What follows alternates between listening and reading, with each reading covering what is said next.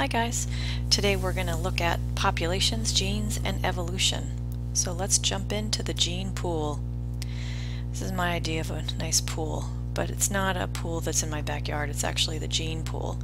So the gene pool definition is all the genes in a population. And so what I tried to show here is that this particular person would be heterozygous for this trait. These are the two alleles that this person is contributing to this gene pool where someone like this would be homozygous for this trait, and we don't really know if this is homozygous dominant or homozygous recessive, but these two alleles are what this person is contributing to the overall gene pool. Okay, so if you think about the population that we live in, we all contribute our genes to that gene pool. And so a gene pool would be all the genes in a certain population. So the allele frequencies are the percentage of alleles in a population. So we could actually just count these up. So if we count up all the alleles, so 1, 2, 3, 4, 5, 6, 7, 8, 9, 10, 11, 12, 13, 14, 15, and 16, and then that would be our denominator, and then we've got 1, 2, 3, 4, 5. So 5 divided by 16 would be the percentage of that allele in the population. So the allele frequency is defined as the percentage of allele in a population. So those are some definitions that we're going to use when we talk about populations, genes, and evolution. So a lot of places um, in textbooks talk about when evolution doesn't occur. And I remember when I was learning about this, I thought it was really confusing to think about what does it not happen. So, and then I was like, wait a second, there's two negatives here. So when does evolution not occur? Well, when there's no mutations, no gene flow, no natural selections, and when there's large populations and random mating. But I kind of found down that really was very confusing, so I turned it around. So to say that these are all the things that cause evolution to occur. So mutations, gene flow, natural selection, small populations, and non-random mating. And I had a student a long time ago, um, Aaron Zani, um, came up with this mnemonic device that I would suggest that you guys memorize. So it's my guppy flow, nobly Sits, sincerely, sincerely petrified near mice. And each one of those letters is part of the things that actually cause evolution. So mutations, gene flow, natural selection, small populations, and non-random mating. And you've already watched um, a video on mutations, and that was with the rock mouse, um, and so you talked, they talked about how that gene for the fur color actually caught, there was a mutation what caused them to um, be more successful in their environment, and that was actually natural selection happening. So both that video on the rock mouse shows mutations which lead to natural selection, and both of those will lead to the evolution of the rock mouse. The non-random mating classic example of that would be artificial selection, which is like dog mating or you know breeding for dogs. So those are some examples of the different causes of evolution. So now we're going to really go into gene flow in small populations, which I've asterisked here. So gene flow is really just the movement of alleles into the gene pool and out of the gene pool. And that could be due to a lot of different things. It could be migration, emigration, immigration, um, any kind of movement of alleles into that gene pool or out of the gene pool.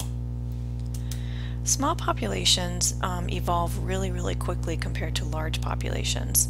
And we're going to use this term genetic drift when some chance event will really have a big effect on the allele frequency of the gene pool and specifically in small populations. So if we took an island, say, um, if I just picked an island, say Galapagos, since we're talking about Darwin, Darwin.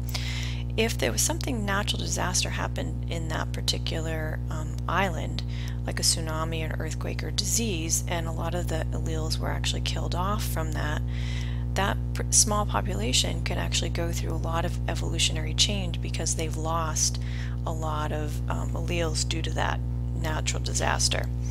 So genetic drift is when any chance event causes the gene pool to be changed significantly in small populations. And those can be either by bottleneck events or founder effects. So one of the things that I'd like you to do is to read about both of these items in your textbook. Read about bottleneck and read about founder effect. I give you two examples here. And then be able to come to class with some examples of those um, and how those chance events can actually cause evolution in a small population. Natural selection we've talked about and we did a little activity related to this that first we have to have um, a population size increase.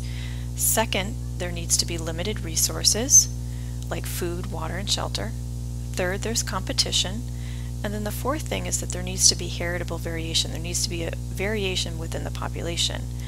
And in academic biology, we did the difference between the tweezer beaks and the clothespin beaks, and that was the heritable variation that was the difference between those populations.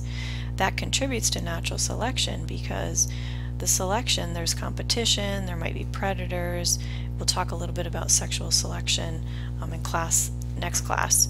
But this those selection pressures can change that population so that over time maybe the clothespin beak birds don't live and the tweezer beak uh, birds do live and we kind of saw that happening. So what that hap what causes that shifts in the population, if normally we see a bell-shaped curve in a population where the majority of the people are in the center, you know, the heterozygous people are here and the homozygous recessive people are here and homozygous dominant here, if something happens to cause the shift so that now there's more homozygous dominance, we call this type of a shift when it's shifting to the right or left a directional shift.